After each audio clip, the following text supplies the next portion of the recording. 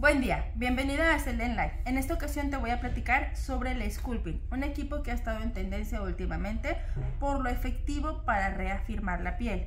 El Sculpting es mucho más efectivo que una gimnasia pasiva, ya que este trabaja a 3 centímetros de la piel, es decir, que te va a cerrar tu tejido de adentro hacia afuera mientras que una gimnasia pasiva necesita un polo positivo y negativo para hacer un cierre de corriente, pero la gimnasia pasiva trabaja de la capa superficial de mi piel hacia la interna. Nuestro equipo cuenta con dos paletas, un paquete de fusibles y dos bandas para sujetar las paletas. Cada paleta o cada maneral viene con una entrada. Siempre hay que tener mucho cuidado en que estas patitas no se lastimen, ya que si se lastiman, todo tu maneral tendrá que ser repuesto. Y los manerales como todos nuestros equipos no son parte de la garantía, tendrías que adquirir este completo. Cuando yo voy a conectar mi maneral, en la parte de atrás de mi equipo, me voy a fijar que embone correctamente. Reviso, reviso, las acomodo y aseguro. Cuando una vez que está asegurado, voy a poner el seguro para evitar que ésta se llegue a lesionar. Siempre hay que cuidar que estos empaques queden justos y nunca manipular las roscas de tu manguera, ya que esto comprometería la eficiencia de tu equipo. Una vez que conecto la primera manguera, procedo a conectar la siguiente.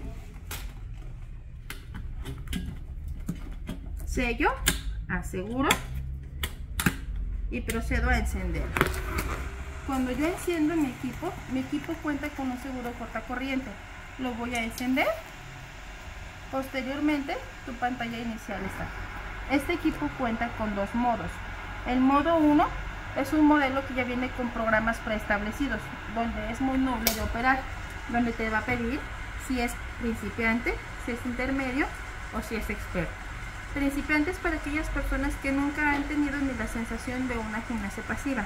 Una persona intermedia es aquella que ya lleva protocolos y que ya es su músculo ya está previamente trabajado. Y este último es para aquella persona que ya hace ejercicio, que ya ha tenido tratamientos previos y que le interesa como más intensidad para ver resultados.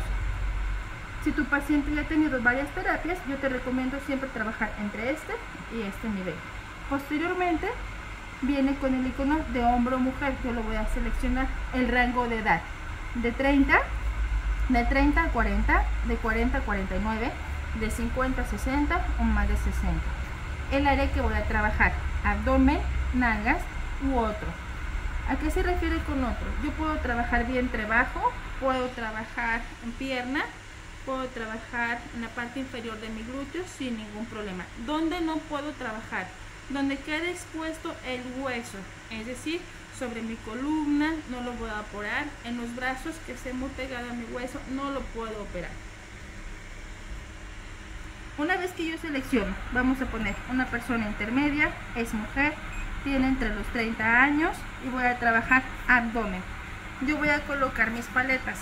En mi paciente voy a poner una capa ligera de gel conductor. Posteriormente yo voy a acomodar las paletas de tal forma que queden seguras, ya que estas son pesadas.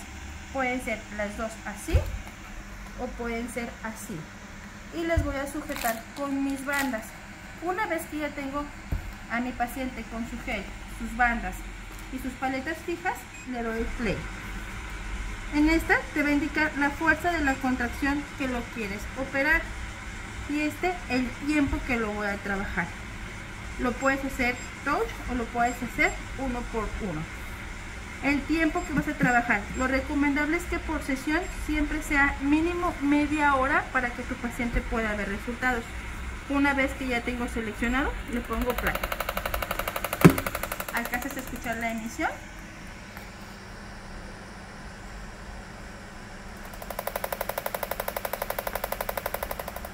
Este es el modo automático. Bien, ahora te voy a mostrar el modo 2. El modo 2 es un programa para que tú lo hagas manualmente. Eso te va a indicar el porcentaje de fuerza que tú lo quieres dar, la intensidad que va a dar en cada percusión cada percusión trae tres ondas. La primera onda va a quedar a 100 watts, la segunda a 50 watts y la tercera otra vez a 100 watts. Voy a programarte cada una. Igual 30. Y vas a escuchar cómo la onda cambia.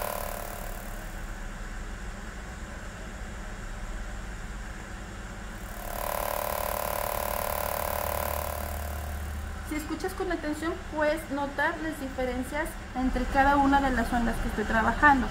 Este modo yo lo recomiendo para cuando ya tengas la pericia y la habilidad en tu equipo, que tú lo puedas programar y que conozcas principalmente a tu paciente, que sepas la resistencia que va a tener.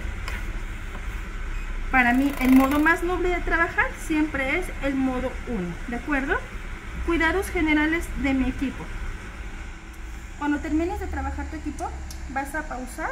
Este es un cortacorriente para que no haya sobrecargas eléctricas y apagamos mi interruptor. Este equipo debe ir conectado a un regulador de bobina. Son esos reguladores que son pesados, no el clásico comercial. Y es un regulador por equipo, ya que nos consume electricidad y no la podemos compartir con otro porque eso te compromete la calidad de tu equipo. Pacientes que no pueden utilizar el Sculpin, todos aquellos pacientes que tengan placa metálica, prótesis o algún tipo de implante que pudiera dañarse, ya que emite una vibración, como te platico, hasta 3.5 centímetros de la piel. Cuidados generales de mi equipo. Después de su uso es muy importante que lo limpies y lo desinfectes, que no esté en contacto con eso. Cuando lo acomodemos, siempre tener cuidado que la mesa donde lo voy a operar sea bastante resistente, porque mi equipo queda así, pero las paletas son pesadas, entonces siempre cuidar que no eh, se, se vaya a caer. De ahí en más, espero que te haya gustado todo. Es un equipo muy novedoso con muy buenos resultados. Muchísimas gracias.